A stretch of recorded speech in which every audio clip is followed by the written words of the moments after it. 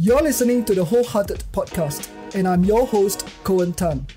Again, it's the power of being seen. I felt seen by Frederick. I felt seen by Coen. I felt seen by Brenda. I felt seen by by all those um, seminar organizers and mentors who invited me to speak in their events, even when I I still felt I was not enough.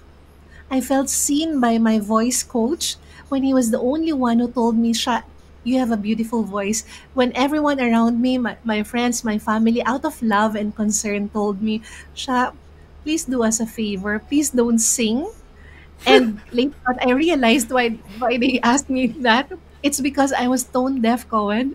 I couldn't carry a tune. But for some reason, when the voice coach heard my voice, he said, Sha, you have a beautiful voice. You are meant to sing.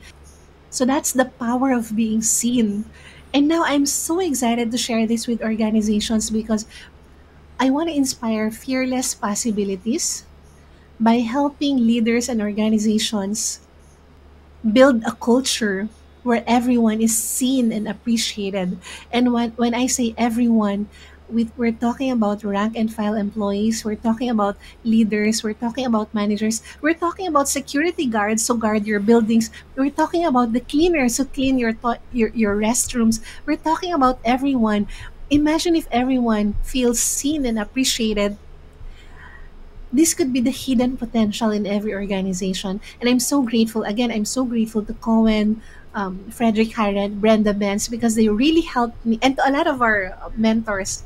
There are a lot, I cannot mention everyone, for helping me really pinpoint my message. They saw me even before I saw it in myself.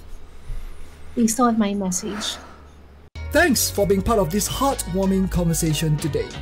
To the next episode, stay wholehearted.